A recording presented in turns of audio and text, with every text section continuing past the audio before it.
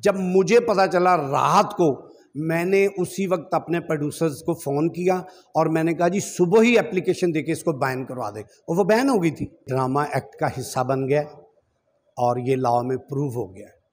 Dance अब नहीं होंगे। कि मुझे इस बात पे सख्त दुख हुआ कि हमारे कुछ दोस्त प्रेस कॉन्फ्रेंसों में बैठ के सिर्फ़ लड़कियों को ही कहते रहे। नहीं नहीं नहीं। उनके साथ अभी भी काम करेंगे। अज़ा की शायरी है, जो म्यूज़िक है।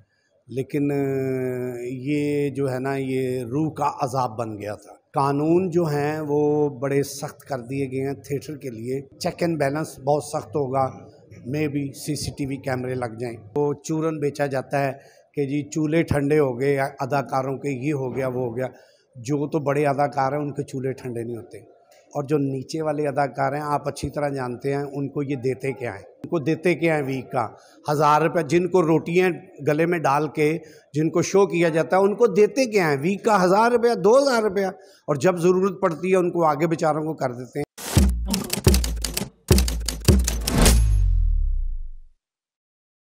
वालेकुम नाजरीन, मैं हूँ कुर्बान प्रिंस और आप देख रहे हैं हमारा फेसबुक और यूट्यूब चैनल। नाजरीन, आज हमारे साथ थिएटर फ़िल्म ड्रामा इंडस्ट्री का एक खूबसूरत नाम एक खूबसूरत फनकार गोशी खान साहब मौजूद हैं जो अकेडमी का दर्जा रखते हैं हमारे लिए।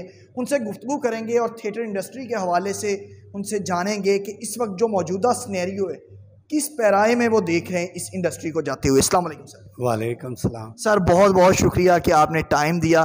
कैसे मिजाज हैं? शब रोज़ कैसे गुजर? अच्छा सबसे पहली बात तो ये है कि कुरबान साहब आप मुझे शुक्रिया ना कहें। उसकी वजह यह है मुझे वो दिन याद आ गया जब आप फ़र्स्ट टाइम मुझे अलहमरा में मुझे मिले थे और मेरा आपने इंटरव्यू किया था मेरे से डिस्कस की थी। तो आज भी वैसा ही लग रहा है और आपके लिए शुक्रिया नहीं आप भाई हैं। ये आपकी मोहब्बत है आपका बड़ापन है और हम हमेशा आपको बड़ा भाई समझते हैं। सर क्या कहेंगे थिएटर इंडस्ट्री जिस करवट जा रहा है ये ऊँट किस करवट बैठे? देखें बात ये है कि जो हो रहा था वो ठीक तो नहीं हो रहा था। कोई भी बंदा उसके हक में नहीं है। और कहते हैं अज़ा की शायरी है, जो म्यूज़िक है। लेकिन, ये जो है ना, ये रूह का अजाब बन गया था। तो इसको बंद करना चाहिए था और ये अच्छा हुआ। अच्छा इसके बाद जो है अच्छा ही होगा। कानून जो हैं, वो बड़े सख्त कर दिए गए हैं थिएटर के लिए और आर्टिस्टों के लिए। और सबसे बड़ी बात आर्टिस्टों का कोई कसूर नहीं है, चाहे वो लड़की हैं, चाहे वो लड़के हैं, उनका कोई कसूर नहीं, उनको ना स्क्रिप्ट मिलता है, ना डायरेक्टर मिलता है। उनको एक लाइन दे दी जाती है, तू है बन के आना, तू है कहना, तू है वो उसमें फिर वो जो मर्ज़ी कहे। जब आप किसी को स्क्रिप्ट देंगे, वो स्क्रिप्ट नहीं बोलेगा, फिर आप पूछ सकते हैं कि मेरा स्क्रिप्ट क्यों नहीं बोला तुमने? जब उसको दिया नहीं होता तो कैसे बोल सकते हैं उनको कि, भाई, तुमने स्क्रिप्ट नहीं बोला या तुमने ये लाइन कैसे बोली? एक तो उस पर बड़ी वर्क कर रहे हैं कि राइटर अच्छे स्क्रिप्ट अच्छा और बाकायदा वो स्कूतनी होगा, ये। दूसरा डायरेक्टर डायरेक्टर कौन है, उसका क्राइटेरिया क्या है, उसने किया क्या है एजुकेशन क्या है और वो कैसा काम करना चाह रहा है या उसका जहन कैसा है, ये। तीसरी चीज़ जो है, वो सबसे जो ज़्यादा सख्त है, वो है जो प्रोड्यूसर है, जो या तो जिसने रेंट पे लिया है या थिएटर का जो मालिक है, उस वक्त जो थिएटर हो रहा है, उसके ऊपर कानून बहुत सख्त है कि उसकी निगरानी में ये काम नहीं होगा। बाकी छोटे छोटी चेक एंड बैलेंस बहुत सख्त होगा। मे भी सीसीटीवी कैमरे लग जाएँ सेफ़ सिटी को दे दिया जाए, वहाँ से मॉनिटरिंग हो। गोशी भाई सोशल मीडिया पे बहुत ज़्यादा ट्रोलिंग हो रही है कि सीएम साहब ने और वज़ीर इतलातो, सकाफत ने अगर थिएटर दोबारा खोलने ही थे तो इतने रोज़ लोगों को बेरोज़गार क्यों रखा? अगर डांस का ख़ात्मा नहीं करना था तो फिर ये सारा ड्रामा क्यों रचाया?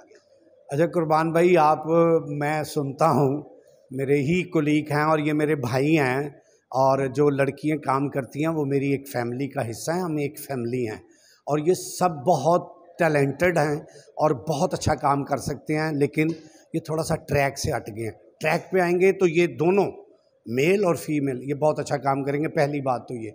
दूसरी बात ये है कि जो अक्सर एक वो चूरन बेचा जाता है कि जी चूल्हे ठंडे हो गए अदाकारों के ये हो गया, वो हो गया, जो तो बड़े अदाकार हैं, उनके चूल्हे ठंडे नहीं होते।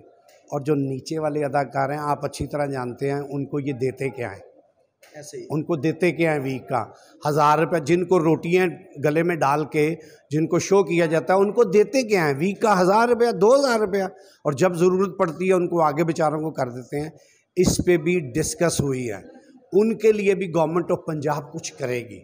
इन वो बच्चे भी जो अपकमिंग हैं, जिन्होंने आना है, उनको एक अच्छा सेहतमंद माहौल मिलेगा, वो अच्छा काम करेंगे। ये भी बड़ा सख्ती से होगा।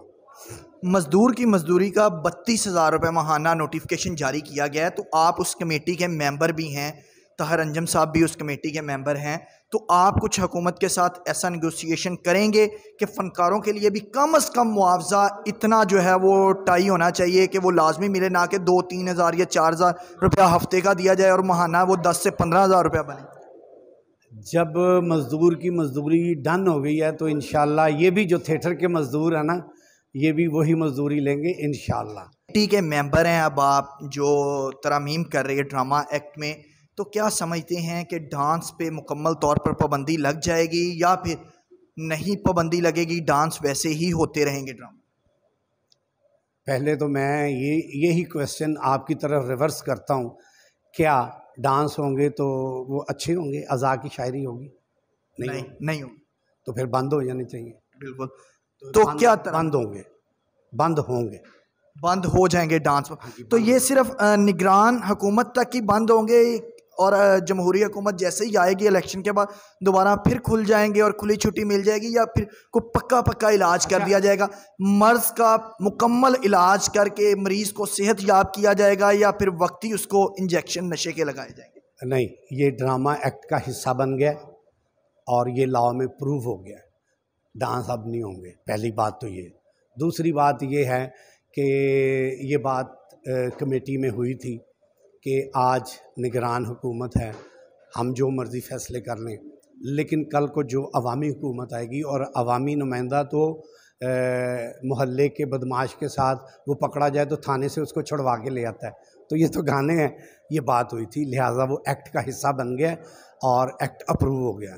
इन कुछ अर्से आखिर में क्या पैगाम देंगे गोशी खान साहब? नई जो लड़कियाँ हैं जो बैन हुई जो पकड़ी गई थानों कचहरियों में गई या जो नई लड़कियाँ आ रही हैं स्टेज ड्रामों में और जो नए नौजवान आ रहे हैं ये नहीं है कि लड़के जो वो दूध के धुले और सारा कसूर लड़कियों का है लड़कों ने लड़कों ने अखीर कर दी थी। नहीं, नहीं, तो नहीं, क्या पैगाम मैं मैं पहली बात मैं पहला क्वेश्चन ये कि मुझे इस बात पे सख्त दुख हुआ कि हमारे कुछ दोस्त प्रेस कॉन्फ्रेंसों में बैठ के सिर्फ़ लड़कियों को ही कहते रहे। नहीं नहीं नहीं।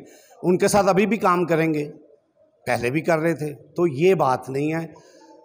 पैगाम। पैगाम ये है कि देखें, जो हो गया, सो हो गया। अब आर्ट की तरफ़ आएँ और आर्ट जब आप करेंगे ना तो आपकी लाइफ बहुत लंबी है। और वलगरिटी की लाइफ जो है ना, वो बहुत कम है। और आप आर्ट की तरफ़ आएँ, सीखने के अमल में आएँ नए लड़के, नए लड़कियाँ सीखने के अमल में आएँ इन सारा कुछ बेहतर हो जाएगा। बहुत शुक्रिया सर। जी, आपने गोशी खान साहब की खूबसूरत गुफ्तु सुनी, जिन्होंने कहा कि नए लड़कियाँ, लड़के सीखने के अमल की तरफ़ आएँगे तो ड्रामा खुद ब खुद ठीक हो जाएगा। उम्मीद है हमारी आज की ये वीडियो आपको पसंद आई होगी। इसी के साथ कुर्बान प्रिंस को दीजिए इजाज़त। अल्लाह ने के बाद।